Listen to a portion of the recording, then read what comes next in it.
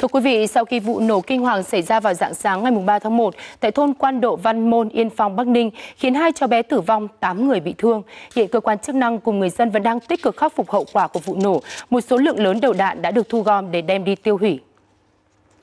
Tính đến ngày 4 tháng 1, lực lượng Bộ Chỉ huy Quân sự tỉnh Bắc Ninh, Lữ đoàn 229 Bộ Tư lệnh Công binh và các đơn vị chức năng đã thu lượm được 3.200 kg đầu đạn. Hiện các lực lượng chức năng tiếp tục tổ chức thu lượm các mảnh kim loại và tập trung tuyên truyền người dân không được tự ý thu lượm các mảnh kim loại để đảm bảo an toàn. Tối ngày 3 tháng 1, cơ quan an, công an tỉnh Bắc Ninh đã ra quyết định khởi tố vụ án, khởi tố bị can, tạm giữ đối với ông Nguyễn Văn Tiến để điều tra về hành vi tàng trữ mua bán trái phép vũ khí quân dụng. Ông Tiến khai nhận cuối năm 2016 có mua khoảng 7 tấn đầu đạn cũ của một cán bộ thuộc Trung tâm xử lý bom mìn thuộc Bộ Tư lệnh Công binh để tháo dỡ phế liệu.